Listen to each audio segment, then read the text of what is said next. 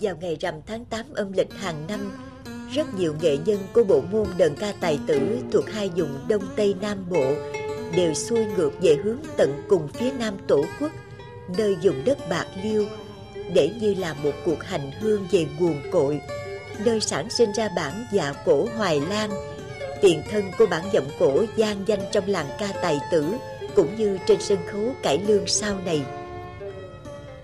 Đã gần một thế kỷ trôi qua kể từ ngày ấy, vào đêm rằm tháng 8 năm 1919, tại làng Vĩnh Hương, tỉnh Bạc Liêu, nhạc sĩ tài hoa Cao Văn Lầu chính thức công bố bản nhạc bất hủ của mình. Con người nói bài dạ cổ Hoài Lan như là tiếng nấc của nhạc sĩ trẻ Sáo Lầu trước thân phận người vợ hiền đang chịu cảnh chia ly. Nhưng giai điệu của một giây phút lóe sáng cảm hứng ấy đã trôi dài hơn 90 năm và có thể sẽ đi vào bất tử. Cái bài dạ cổ Bài Lan sáng tác thì nó có mang một âm hưởng à, những cái bản mà đã lưu hành ở trong dân gian à, từ miền Trung đem vào và có âm hưởng của à, nhạc dân ca Nam Bộ.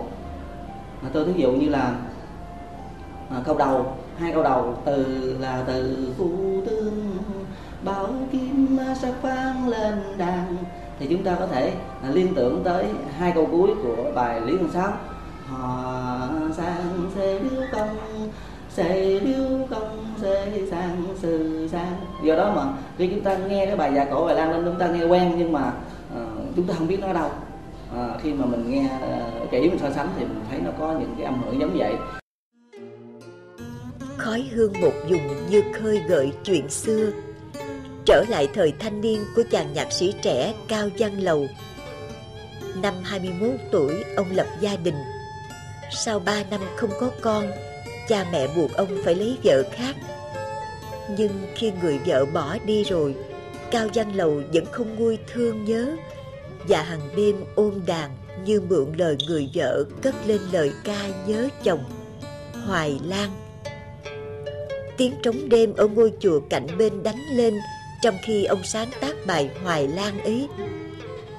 Ông lấy hai chữ dạ cổ, tiếng trống đêm, thêm vào bản nhạc Hoài Lan thành dạ cổ Hoài Lan. Đêm nghe tiếng trống nhớ chồng, với hai mươi câu làm não ruột người nghe. Rồi chuyện đời có hậu lắm. Cuối cùng ông đi tìm và gặp lại người vợ chung thủy chờ ông và hai người sau đó sinh con, lập nghiệp đàng hoàng bà có ngờ đâu bài ca được viết trong lúc riêng tư ấy đã trở thành tài sản chung của nền cổ nhạc phương Nam.